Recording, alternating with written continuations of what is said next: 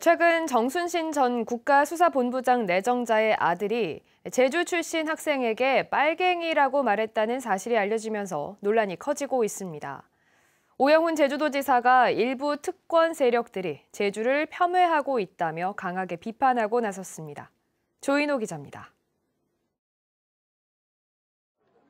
제주 항일 기념관에서 열린 3.1절 기념식에 참석한 오영훈 제주도지사.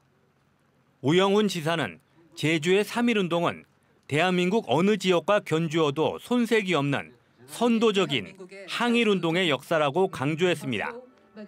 하지만 최근 학교폭력 가해자와 부모의 제주에 대한 인식과 태도를 보면서 분노하지 않을 수 없다고 말했습니다. 정순신 전 국가수사본부장 내정자 아들의 학교폭력 발언을 비판한 것입니다. 제주를 연상시키는 빨갱이, 돼지, 여전히 일부 특권 세력과 일부 세력들은 제주를 이렇게 폄훼하고 있고 무시하고 있고 멸시하고 있습니다.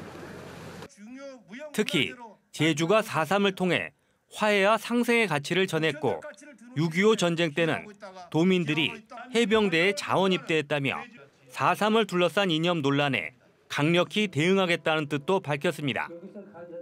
이제 여러분들이 함께해 주셔야 합니다. 외지에서 일부 세력들이 저희들을 폄하하더라도 우리끼리 단결하고 연대해야 합니다. 한편 코로나19 사태 여파로 4년 만에 정상적으로 열린 3.1절 기념식에는 도민과 광복회원 등 천여 명이 참석해 3.1운동의 의미를 되새겼습니다. 마지막 한 사람까지 마지막 한 순간까지 민족의 정당한 뜻을 마음껏 드러내라. 비난 시 때문에 만세 대행진은 취소됐지만 제주 3.1운동의 발상지인 조천 만세동산이 있는 제주 항일기념관 추념탑 광장에서 처음으로 열려 의미를 더했습니다. MBC 뉴스 조인호입니다. 우리나라 최남단에 있는 마라도가 연일 떠들썩합니다. 이 마라도에 사는 길고양이들이 멸종위기에 처한 철새들을 위협한다는 논란 때문인데요. 결국 고양이들이 마라도를 떠나게 됐습니다. 이따금 기자입니다. 우리나라 최남단의 마라도. 주민 80여 명이 사는 작은 섬에 동물보호단체와 공무원들을 태운 바지선이 들어옵니다. 마라도에 사는 길고양이를 데리러 온 겁니다. 동물보호단체 회원들이 포획틀 안에 먹이를 넣고 마라도 곳곳에 설치합니다. 잠시 뒤 펜션 마루 아래 숨어 있는 고양이 한 마리가 간식을 빤히 쳐다보며 주위를 살핍니다. 그리고는 슬금슬금 포획틀 안으로 들어갑니다. 남자이고요. 상태도 되게 깨끗해요 지금 이 아이는. 네. 그리고 굉장히 밥도 잘 먹고 상태가 되게 좋아요. 네. 포획 첫날 잡힌 고양이는 17마리. 이처럼 포획된 고양이들은 세계유산본부로 옮겨져 건강검진을 받고 마련된 보호시설에서 지내게 됩니다. 마라도 주민들은 쥐를 잡기 위해 지난 2009년부터 고양이를 데리고 왔는데 15년 사이에 6, 70마리로 늘어났습니다. 그런데 이들이 천연 기념물로 지정된 뿔쇠오리를 공격한다는 지적이 제기됐습니다. 지난주 뿔쇠오리 사체 4구가 발견됐는데 길고양이가 먹은 것으로 추정됐습니다. 결국 문화재청은 세계적으로도 희귀한 철새를 보호하기 위해 길고양이를 포획해 마라도 밖으로 데려가기로 결정했습니다. 뭐 저희들도 생각만 할 수는 없는 거잖아요. 그래서 뭐 골고루 뭐 희귀조류든 뭐 또 고양이의 입장이든 주민들 입장이든 전부 다 이렇게 인원을 해서 협의해 가지고 다 뭐 결정이 내려진 거니까. 유산본부 현재 보호 시설을 구축하고 있고 아마 이제 여기서 반출되는 고양이에 대해서도 안전하게 보호를 계속 지속할 예정입니다. 다만 고양이가 모두 사라지면 다시 쥐가 늘어날 수도 있다는 주민들의 입장도 있는 만큼 일단 길고양이 40마리를 포획해 제주도의 보호시설에서 돌볼 예정입니다. MBC 뉴스 이따금입니다. 코로나19 여파로 운항이 중단됐던 크루즈선 운항이 이번 달부터 3년여 만에 재개됩니다. 외국인 관광객을 대상으로 하는 관광업계는 반기고 있지만 손님 맞이 준비는 부족하다는 지적입니다. 박주연 기자입니다. 여객선들이 분주히 오가는 제주항.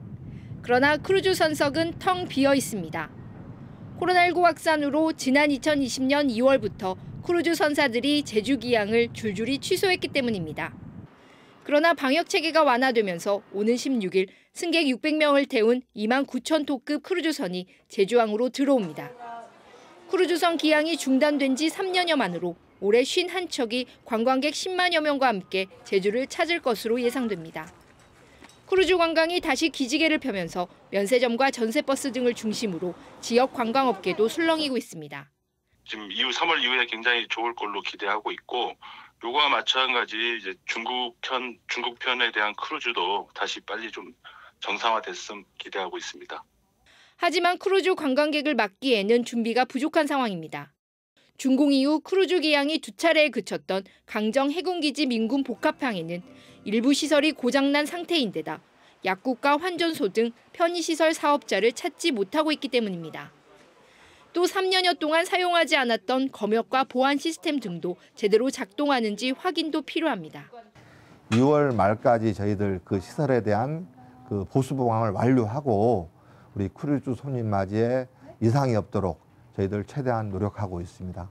사드 사태와 코로나19로 전면 중단됐던 크루즈 관광 시장이 제주 경제에 새로운 활력을 불어넣을 수 있을지 주목됩니다. MBC 뉴스 박주연입니다.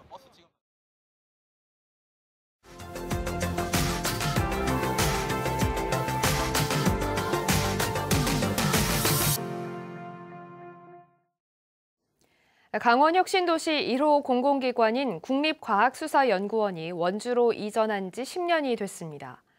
국과수는 지역의 과학수사 발전 외에도 지역 산업 발전을 위해 첨단 기술과 장비를 지원하기로 했습니다. 원주 MBC 김진아 기자입니다.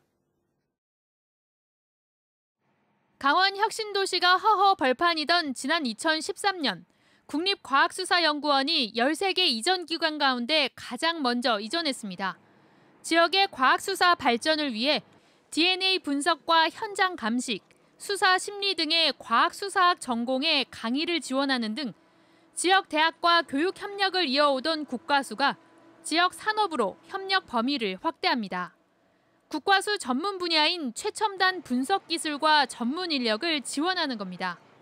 고가의 분석 장비가 없는 지역 중소기업에 최첨단 분석 장비를 활용한 샘플이나 시료 채취, 독성 분석 등을 자문하고 법과 관련 분야의 전문 기술 교육을 지원하기로 했습니다. 그 우수한 인프라, 그 인프라가 인력과 그 장비, 이런 기술들을 이 지역에 있는 어, 기업이나 원주시에서 필요로 하는 어, 적재적소에 같이 협조를 함으로써 원주시 발전에 같이 동참한다는 큰 의미를 가지고 있습니다.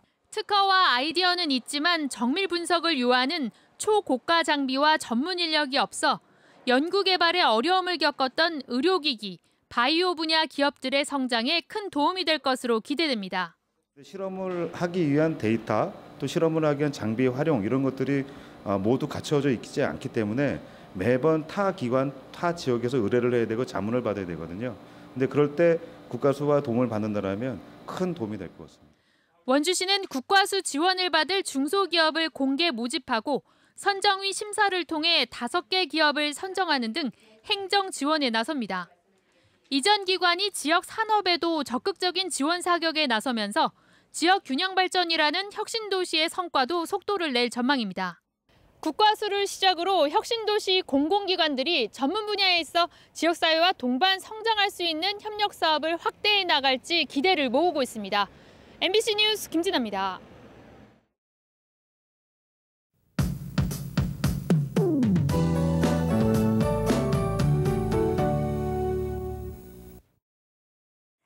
제주에 찬바람이 강하게 불고 있습니다. 오늘 따뜻하게 챙겨 입으셔야겠는데요. 아침 기온이 어제보다 7도 이상 떨어져서 6도 안팎으로 시작했고요. 낮에도 쌀쌀하겠습니다. 내일 아침까지는 반짝 추위가 이어지겠고 내일 낮부터 점차 예년 기온을 회복하겠습니다. 주말에는 온화함이 감돌겠습니다. 강한 바람은 오늘 낮까지 이어질 텐데요. 순간적으로 초속 15m 안팎으로 바람이 강하게 불겠고요. 해안가와 산간 지역에는 바람이 더 강해서 안전사고에 유의하셔야겠습니다. 특히 한라산 산에 가실 때 각별히 더 조심하시기 바랍니다. 대기 확산이 원활해서 미세먼지 농도는 보통 정도겠고 오늘 제주 전 지역에서 맑은 날씨를 보이겠습니다. 현재 기온 보시면 체감 온도가 뚝 떨어졌습니다. 서부 지역은 체감상 0도를 보이고 있고요. 남부와 동부 지역은 체감 온도 3도 안팎으로 시작하고 있습니다. 한라산 성판악은 체감 온도 영하 9도까지 떨어진 상황입니다. 낮에도 쌀쌀하겠습니다. 낮 기온 서부 지역 7도, 북부와 동부 지역 8도, 성판악 2도 안팎에 그치겠습니다. 도서 지역 하늘도 맑겠고요. 초속 10m 안팎으로 바람이 강하게 불겠습니다. 낮 기온 7도 안팎에 그치겠습니다. 바다의 물결은 4m까지 매우 높게 일겠는데요. 현재 제주 남부 앞바다를 제외한 제주 전 해상에 풍랑주의보가 발효 중입니다. 이 특보는 오늘 늦은 오후부터 밤 사이에 차차 해제되겠습니다. 항해하거나 조업하는 선박들은 조심하시기 바랍니다. 주말에는 맑은 날씨가 이어지겠고요. 갈수록 봄 기운이 더해지겠습니다. 기상정보였습니다. 제주도 남쪽의 이어도 해양과학기지에서 철새가 포착됐습니다. 국립해양조사원은 이어도 해양과학기지에서 CCTV와 열화상 카메라로 철새인 괭이갈매기와 해오라기를 포착하는 데 성공했다고 밝혔습니다. 해양조사원은 먼 바다 한복판에 위치한 이어도 해양과학기지에서 철새들이 확인된 건 주변 해역에 철새의 먹이인 해양생물이 풍부한 것이라고 설명했습니다. 제주 지역 미분양 주택이 3개월 만에 역대 최대치를 경신했습니다. 국토교통부에 따르면 1월 제주 지역 미분양 주택은 1,780호로 지난해 12월보다 104호가 늘어 역대 최대치였던 지난해 10월에 1,722호를 넘어섰습니다. 제주도 내 주택 매매 거래량은 444건으로 1년 전보다 46% 줄었고 2010년 9월 이후 12년 4개월 만에 최저치를 기록했습니다. 제주목 관아의 전강 내부가 전면 개방됐습니다. 그동안 제주목 관아는 문화재 보호 관리를 위해 출입이 제한됐지만 전강 내부를 개방하고 집신을 비치했고 목사복을 입고 사진도 촬영할 수 있게 됐습니다. 제주도 세계유산본부는 제주목 관아 야간 개장을 5월과 10월 2개월에서 5월부터 10월까지 6개월간으로 연장하고 월 1회 야간 공연을 열기로 했습니다. 제주도는 홀로 사는 노인을 위한 인공지능 케어콜 시범 사업을 추진한다고 밝혔습니다. 인공지능 케어콜은 인공지능이 홀로 사는 노인에게 일주일에 두 번씩 전화를 걸어 안부를 확인하고 말동무를 하는 돌봄 서비스입니다.